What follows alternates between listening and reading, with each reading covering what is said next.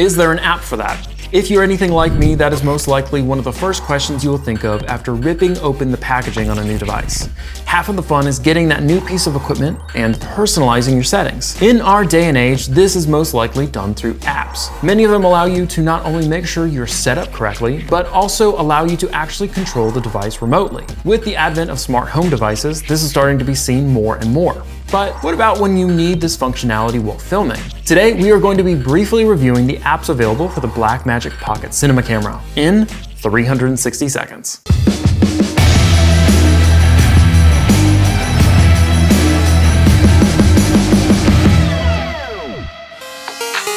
As always, make sure to subscribe below and hit the notification bell to stay up to date with all of our content. So which devices are the Blackmagic controller app even available for and where can you find them? Let's start by taking a look at the devices from tech giant Apple. Blackmagic has actually created their own free app for Apple, which is already super convenient. The downside to this free app is that it only works on the iPad. Now, most Apple people I know have just an iPhone, so if you're also one of these people, there's another app called Bluetooth Plus, which which is $5.99 in the App Store. By all accounts though, this price is worth it, due to the fact that it is more accessible for most Apple heads, with connectivity available on iPhone, iPad, and actually Apple Watch. I'm going to keep my focus on that Bluetooth Plus app today. What about options for those anti-Apple folks, like me, out there?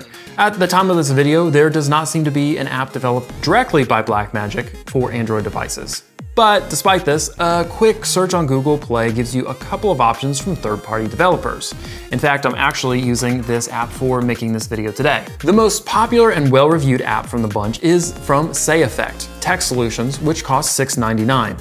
From the look of things, this app is available for both smartphone and tablet devices. Of course, it is not a huge shock to any of you that Android devices come in a billion different ways and from a bunch of different manufacturers that are all able to work on the same device. Connecting to the Bluetooth Plus app on your iPhone to your Pocket 4K is pretty simple. After you get your Bluetooth Plus downloaded and launched, you'll be presented with the pairing home screen. Now go to your camera and open up the menu. To get the setup screen, hit that arrow on the right three times. Put the Bluetooth toggle into the on position. At this point, you will see on your iPhone that the app is searching for devices. Once you see the information for your camera appear, click connect. Here you will be asked to connect a pairing code which will be visible on your camera's display. If you see the first setting screen on your iPhone after putting in the pairing code, then you have successfully paired your devices. For an Android device, the pairing steps will be pretty similar. Get the app opened and then turn on the Bluetooth and the camera setup. You will be directed to the list of devices available to pair on your Android. Select your camera from the list and then go back to your app. And then you're going to go ahead and add in a pairing code here as well. Once the app is finished auto-syncing with your camera, you are good to go. At this point, you might be asking yourself, why do I need this app for functions and settings that already exist on the camera? Don't most apps just give you the bare minimums anyway? We all have been burned by the limited functionality of apps in the past. But what functions come through with this app? Let's run through a list for each of them. Maybe there will be something here that you definitely need.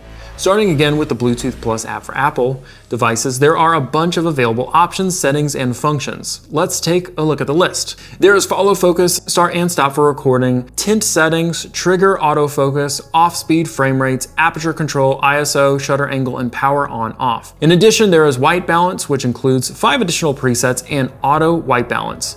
Another thing that is both fun and helpful is that the app allows you to enter metadata on the digital slate. If you give the app location date permissions, some of this metadata will even be auto-filled for you. With SayEffect's Android Blackmagic app, you get many of the same functions as Bluetooth Plus, some parallel settings and some completely different ones. These are as follows. Start, stop recording, play last clip, manage LCD, frame guides, manage white balance and tint, lens control, manage clip slate information, mobile rotation, rack focus, choosing recording codec formats, and shutter angle and shutter speed. If that sounds like a lot, well, there's actually more.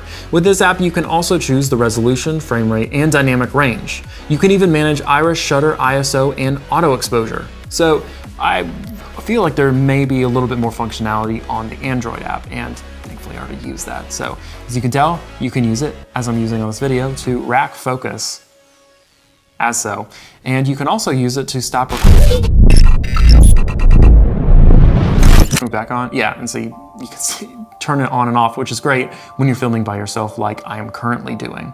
Um, That way you don't have to get up and turn the camera on and look at. it. As long as you have a screen that you can look at and reference while you're filming, very useful to those who are um, filming by themselves. Now, I'm pretty sure you can only do the focusing on um, native MFT lenses. So that might be something to think about when using this app. So this comes down to, do you even need these apps?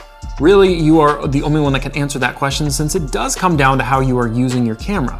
Both apps seem to be extremely beneficial to users whose filming setups include gimbals, cranes, and even drones. The Bluetooth connectivity of both allows you to be distanced from your camera and still be able to control the more necessary functions that you will need. Both apps boast connectivity up to 30 feet or 9 meters. As with many tech products though, the best way to truly get a feel for the pros and cons is by going through the reviews of other users. Currently in the App Store, the Bluetooth Plus for Blackmagic has a 4.8 rating, which is pretty respectable. Most users seem to be getting close to the performance that is promised in the description.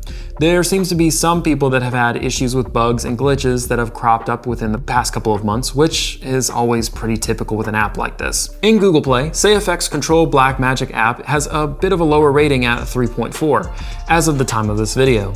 Taking a look at some of the more critical reviews, it seems like a handful of users have lost some functionality since the last firmware update.